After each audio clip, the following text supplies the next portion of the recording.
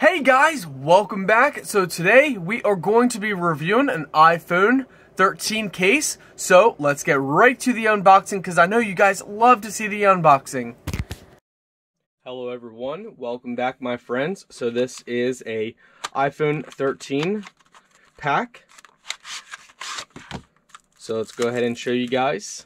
get a little starter guide with all your alcohol pads and prep pads. So this is what it looks like. So your iPhone 13 would go in here and you would place it in. This kit comes with tempered glass to protect your iPhone front screen. So your iPhone sits in here.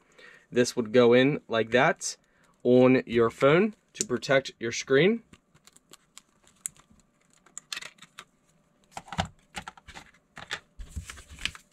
You also have your lens protection as well. It's a full kit. Really nice full kit. So nice tempered glass protection for your cameras as well. It's very important and you also get another screen protector as well. Tempered glass is very important for your vehicle, for your vehicles, for your phone to help protect your phone. So overall, this is a really nice kit. Good quality.